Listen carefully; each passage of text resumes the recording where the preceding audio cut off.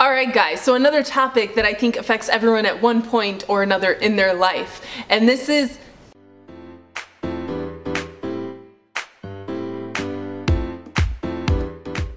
having absolutely no appetite at one point like you just don't want to eat anything. You may even be kind of grossed out with food um, and this happens to all of us. I used to love food um, every day. Eat what's what am I gonna eat? What am I gonna eat? I would finish my plate like that. Everyone would laugh at me even his family because I would finish before him.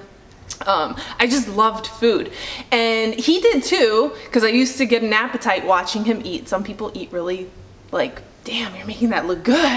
I want some too. So he used to give me an appetite too, but something happened and he just, we started learning more about food and like hormones and all the crap that they put in them and it started to like turn us away from food more him than me and then I would see him like brush things aside on his plate and I would be like you're crazy it's good whatever and then eventually like I think that got to me and I was like well, why aren't you eating that? Maybe I shouldn't eat that either. And then it escalated and got really bad to the point where I would eat I would only enjoy the first meal of my day and then everything else was forcefully fed. I didn't really care for it. Um, and then I have days where it's like, I have an appetite, I can eat more if I had the calories to do so, but I don't. and those are great days, but then I have days where it's just like, I don't wanna eat anything. It sucks to suffer with this in general, but can you just imagine this happening during a bulk when you're already trying to eat a surplus of calories? Granted, I always reach my calories. I always force fed myself. It was not easy. Um, people tell you bulking is easy. You get to eat more. Well, when you don't want to eat more, it's not easy. When your belly feels like it's gonna pop, it's not easy. So what do you do in this circumstance for people who absolutely do not want to touch their food? A couple things I've learned along the way. Uh, a big one, if you're eating with someone, refrain from looking at them do not look at them. We've already decided if we don't like a food, we won't express it. We'll just slow down eating, pick at things, but just don't look at each other because it influences you. You see somebody putting something aside, you're kind of like, hmm, why are you doing that? You know, I don't want to eat. Does the opposite. What do you mean? Unless they do the opposite? Unless they do the opposite, but you don't know if they're gonna do it or not. Like they're eating with like, oh my god, this is the best. If you do kind of see them, then just keep watching them and eat with them. Um, but we've we decided to share, not share when we don't like something, so that the other one doesn't get grossed out. Cause like he'll be eating something and then he'll be like, I don't know, the beans in this is weird, and I'm like, oh great. I ain't eating. Push it aside, and then yeah, eventually we learn keep it keep it to yourself. Don't say anything. And yeah, if you're enjoying it, say, man, this is really good. In case the other person is having a hard time eating, then they'll be like, okay, you told me it's good. I'm gonna keep eating. Uh, I know it's silly, but it does do a lot for you. Your mind is so powerful. Somebody says something is gross, and you whether you're enjoying it, it doesn't matter. You could just be like, oh man, I'm getting grossed out. So that's that's a number one tip. Secondly, um, prioritize your first meal especially if you fast this comes in handy if you don't it's gonna be a little bit harder but like for me I'll prioritize my first meal and get as much food in as possible because I lose my appetite after that I've noticed my first meal is the easiest to eat so I'll make it a pretty big balanced meal. I'll make sure to get a lot of my macros in there so that later on when I know that I have no appetite, it's not so hard on me. Um, and then thirdly, snacking, snack less. See, here's the thing, you don't have an appetite, but you force yourself to eat like, I don't know, a cheese stick or something. And what you're doing is you're slowing down that whole, uh, increasing your appetite, waiting for you to get hungry. So you never allow your body to fully get hungry and build up an appetite. So then all day you're snacking on insignificant things here and there and you still got so many calories left. So no snacking if you have this issue. It's very important that you allow yourself to get hungry so that you will want the food, uh, you'll crave the food, and you can sit down and eat a full-blown meal rather than a 60 calorie cheese stick. And then now a very important one, food choices come in play. Um, and this is when you eat food that's big in volume but very low calories. You don't have an appetite but you're gonna eat this big old salad um, and you're gonna down it, it's gonna be like 50 to 80 calories and you're stuffed and you're done and you don't want anything after that. That was not a good choice. Um, I'm not saying don't eat salads or don't eat your micronutrients, get them in, you can drink them. That seems to help me the most. Um, it's just drinking it and you don't really feel like you ate this big filling thing. Um, so I just make sure that you're you're choosing foods, and I, I think I did a, I did do a video about this: foods to eat when you lack an appetite, and foods to eat when you absolutely have an appetite, but you know you're you're calorie restricted. Um, and I show you there kind of my tricks. Like my favorite would be like to eat a, a cucumber. A full cucumber is only 60 calories. It's so filling. I do the Mexican style with a little bit of lemon and, and chili powder and I down it and I'm so full. Um, so when you have an appetite, you want to eat things like that, salads, big volumes of food. And when you don't, you kind of want dense food that you don't have to sit there for like 30 minutes chewing because that's gonna turn you away halfway through your plate. You're gonna be like, I don't wanna eat this anymore.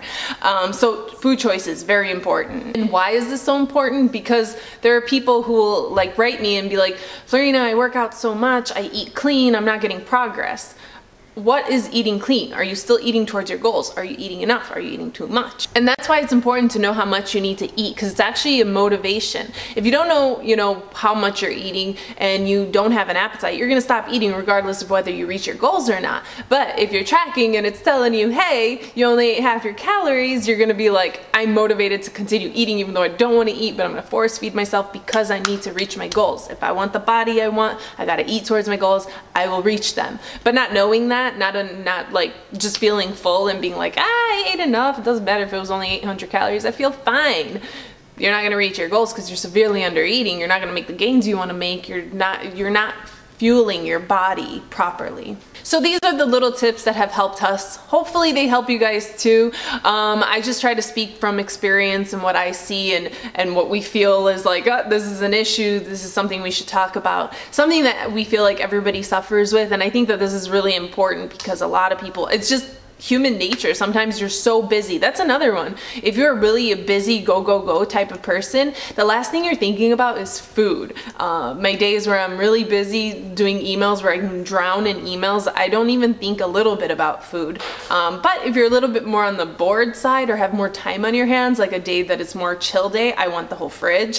so you have to keep that in mind as well. Um, so I'm hoping these tips kind of just help you through it because I know we struggle. I've already told him I, I always wish wish I am hungry and I, I never like the like no appetite feeling where you gotta scarf food down. I would prefer, okay, I can't eat anymore, damn it, but at least I had an appetite all day and I felt good eating. Another thing I wanna put out there um, is that you guys do not have to agree with me 100%. No one will ever agree with anyone 100%, but you also don't have to be rude about it or very demanding or say, no, this is false. I speak from experience and I try to always keep a very honest um, approach to everything do. And if it works, it's because it I've experienced it and it works for me and now I'm sharing it with you.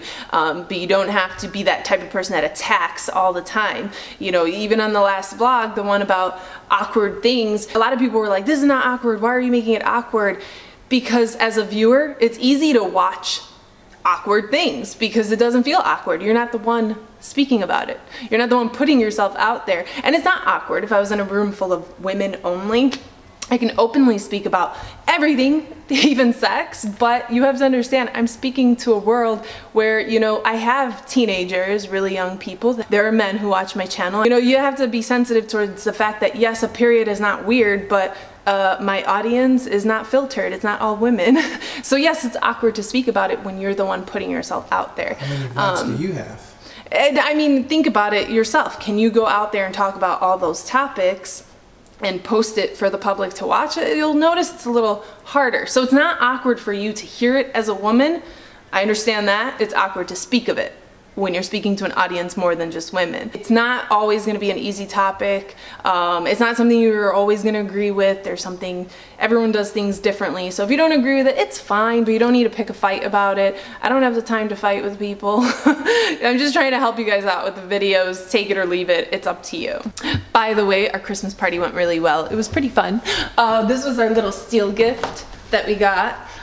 I thought it was pretty cool. Um, we do want to paint it a little bit. We don't really like the gold in it, but it was funny because hubby stole it at the end. He was the last one. He had the last card. When you're the last one, you pretty much get a say in all the gifts of which one you want. He chose home decor. Thought it was kind of funny. It's going in that wall. It's yeah, we're planning on putting it up there, and I don't know what color. Probably maybe like that silver to match that table that we absolutely love and cannot find another one. We would love to find another one, but we can't. Ross, by the way. so we're probably gonna color it like that, and yeah, good job on that one, babe. Anyways, let's go do our leg day. I gotta get that in today. All right, so for this leg day, as you guys know, it's mostly squats. I do my pelvic raises because that is just the golden workout for the booty. Um, I'm not gonna go too heavy on squats, mainly because I'm gonna focus on depth, going really, really low. And for that reason, you won't see lots of weight on it. By the way, people have been asking about the heater. I will link that for you guys. Um, I do love this heater. If it tips over, it stops. I kicked it, it stopped temporarily. I didn't mean to kick it though. Um, it's a really good heater. We like it a lot, so I'll link it for you guys. Anyways, starting with jump rope. No equipment.